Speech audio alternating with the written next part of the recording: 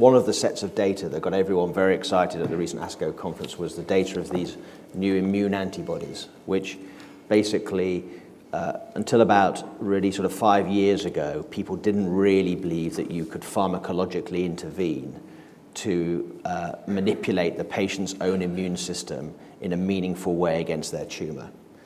And the latest data suggests that there are ways to do that in, in quite some striking ways. And so if we take a disease such as melanoma, a disease which you know, was almost, for late stage patients, there was really a, a, a very poor outcome for those patients with very few therapeutic options. At the recent conference that we saw, we saw data presented from a number of companies which suggests that these antibodies, if you can do combinations of them, about 20% of those patients have a so-called complete response where all of their detectable tumor disappears and it looks quite durable, that response. So that's a really remarkable outcome, but it's only 20% of the patients, and the cost of those two antibodies is $300,000. And so that, the question is, you know, is that sustainable in the healthcare system? Probably not.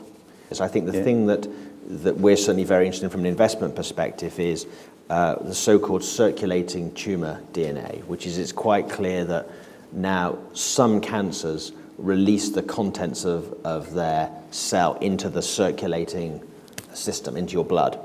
And actually, that rather than having to take a biopsy of a patient, you can detect some of the molecular changes that are going on in those cancers purely from a simple blood draw.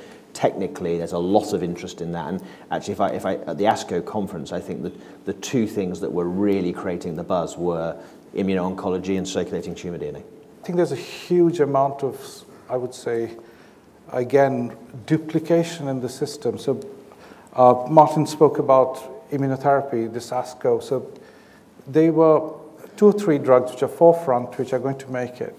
But if you actually look at the landscape, there are 15 such compounds by pharma, biotech, which are going through the system now. And you know only one or two of them, or maybe three, will get licensed. So why are we bothering to do the other 15, you know? And, you know, if you go back to the laboratories and look at the discoveries that are taking place, these huge banks of data on crystal structures and chemistry, which is just, and it has to be patented, and I don't know what the right answer is, but we're actually doing the same amount of work about 15 times over while there's only one registrable drug. And yet the system says, well, we're it's expensive because so many are failing. Well, they're going to fail because somebody's going to win the race. And I'm not saying that you should stop people starting the race, but I think halfway through, if there's one or two clear winners, it's actually not worth. And I think the cost of drugs, as Naz says, is, I find it as a treating physician, it's just not going to be sustainable anywhere. And it's, the bubble is going to burst. And we've been saying that for five years. You folks are better at predicting when it's going to burst, but it's going to burst. But do you think it could be more coordinated? So you, there's enough cancers to go around. There's enough things to, you know, people to be treated. You know, 14 million people get cancer a year. But science, sadly, but like most things, is quite fashion driven. So, you know, everyone's now on immuno-oncology and then they'll sort of go to something else. But if there was a more coordinated approach and one could divide up the cancers maybe, or divide it, am I just living in sort of cloud cuckoo land? But um, it, it, it isn't, it, it feels very inefficient to me. No, I completely agree. And I think, I'm not a patent lawyer, but, you know, I think our, you can't, in a utopian world, you know, you've got one big body which says you do this and you do that, and that will kill innovation, and innovation has to be rewarded. But I think there is a middle ground. I think repetition is certainly a very inefficient way of doing it. So I think there are some aspects of um, cancer care which are changing, which are in fact very affordable. So, uh, and the technology is allowing us to do more for more patients faster and cheaper. So one of the things that, uh, one of the areas I work on are in, are on the BRCA genes. Most people have heard of the BRCA genes now because Angelina Jolie had a, a, a mutation in one of those genes. And it was one of the genes that were, was found at, the, um, at our institute. Um, and for a long time, that was actually, it was found 20 years ago, but for a long time, because it was very expensive to do this reading of the gene and, and all of the infrastructure, we couldn't help that many people. But now we can. We can do that fast, we can do it quickly. So over the last couple of years, the mainstreaming program that I've been running, we've now rolled that out to all ovarian cancer patients in our institution, and now we're doing that for the whole of the NHS. And we've been able to get four times the throughput at a quarter of the cost, and we've taken that time of getting that test down from 20 weeks to four weeks with no new resources because that's, that's where.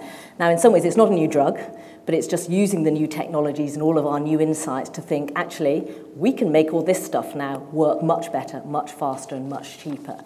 So that's a great side of the story. I think there's a whole um, era now of sort of, um, sort of patient participation in their own health. And the way we really need to do that is to be able to get information from the people with cancer longitudinally. And these sorts of, over many years, and these sorts of experiments used to be unfeasibly expensive and unfeasibly complicated to be able to organize. But now with people with their smartphones, with the sort of apps that sort of people like Apple and Google are sort of making out, and people just logging their own information, making it available. When Apple made this um, app called ResearchKit available a few weeks ago, and within about six hours, 20,000 people had um, logged on. They had one study on Parkinson's. They've already got the largest study on Parkinson's from people wanting to do it. So I, I, I think that that sort of having the crowd, having the people coming back in and feeding into that is going to make absolutely revolutionize how we're going to be able to treat and manage cancer.